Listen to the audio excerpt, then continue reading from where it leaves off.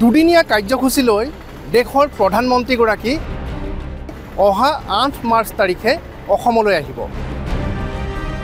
আঠ মাৰ্চ তাৰিখে যোৰহাটৰ বিমানবন্দৰত প্ৰধানমন্ত্ৰীৰ বিমান অৱতৰণ কৰাৰ পিছত তেখেত যাব কাজিৰঙালৈ।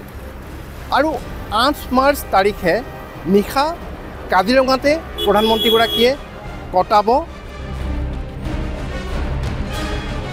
প্ৰাথমিকভাৱে জানিব পৰা তথ্য অনুসৰি আঠ মাৰ্চত কাজিৰঙাত নিশা কটোৱাৰ পাছত ন মাৰ্চ তাৰিখে প্ৰধানমন্ত্ৰীগৰাকী যাব অৰুণাচলৰ এক অনুষ্ঠানত অংশগ্ৰহণ কৰিবৰ বাবে। আৰু অৰুণাচলৰ পৰা ন মাৰ্চ তাৰিখে পোনে পোনে আহিব প্ৰধানমন্ত্ৰীগৰাকী যোৰহাটৰ লাহদৈগুৰলৈ আৰু তাত লাচিতৰ প্ৰতিমূৰ্তি উন্মোচন কৰাৰ পাছত মেলেং মেটেলি পথাৰত এক বিশাল জনসভাত অংশগ্ৰহণ কৰিব। আৰু তাৰ পাছত পথেৰে প্ৰধানমন্ত্ৰীগৰাকী আহিব যোৰহাটৰ আৱৰ্ত ভৱনলৈ। আৰু আমি প্ৰাথমিকভাৱে যি তথ্য লাভ কৰিছোঁ যে ন মাৰ্চ তাৰিখে দেশৰ প্ৰধানমন্ত্ৰীগৰাকীয়ে যোৰহাট আৱৰ্ত ভৱনতে নিশা পাৰ কৰিব।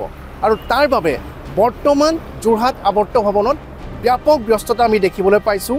যোৰহাট জিলা প্ৰশাসন তথা অন্যান্য বিভাগসমূহৰ বিষয়াসকলে কিয়নো প্ৰধানমন্ত্ৰীগৰাকীৰ আগমনক কেন্দ্ৰ কৰি ন ৰূপত যোৰহাট আৱৰ্ত ভৱনটো সজাই পেলাবলৈ ব্যৱস্থা কৰা হৈছে। দুদিনীয়া কাৰ্যসূচীলৈ দেশৰ প্ৰধানমন্ত্ৰীগৰাকী অহা আঠ মাৰ্চ তাৰিখে অসমলৈ আহিব। আঠ মাৰ্চ তাৰিখে যোৰহাটৰ বিমানবন্দৰত প্ৰধানমন্ত্ৰীৰ বিমান অৱতৰণ কৰাৰ পিছত তেখেত যাব কাজিৰঙালৈ। আৰু আঠ মাৰ্চ তাৰিখে নিশা কাজিৰঙাতে প্ৰধানমন্ত্ৰীগৰাকীয়ে কটাব। প্ৰাথমিকভাৱে জানিব পৰা তথ্য অনুসৰি আঠ মাৰ্চত কাজিৰঙাত নিশা কটোৱাৰ পাছত ন মাৰ্চ তাৰিখে প্ৰধানমন্ত্ৰীগৰাকী যাব অৰুণাচলৰ এক অনুষ্ঠানত অংশগ্ৰহণ কৰিবৰ বাবে।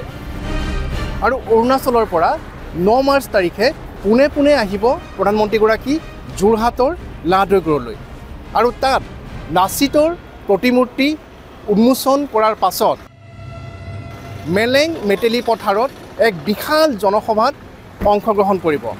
আৰু তাৰ পাছত পথেৰে প্ৰধানমন্ত্ৰীগৰাকী আহিব যোৰহাটৰ আৱৰ্ত ভৱনলৈ।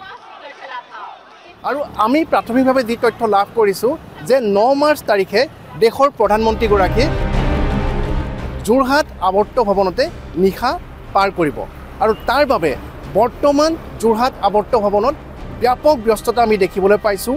যোৰহাট জিলা প্ৰশাসন তথা অন্যান্য বিভাগসমূহৰ বিষয়াসকলে কিয়নো প্ৰধানমন্ত্ৰীগৰাকীৰ আগমনক কেন্দ্ৰ কৰি ন ৰূপত যোৰহাট আৱৰ্ত ভৱনটো সজাই পেলাবলৈ ব্যৱস্থা কৰা হৈছে।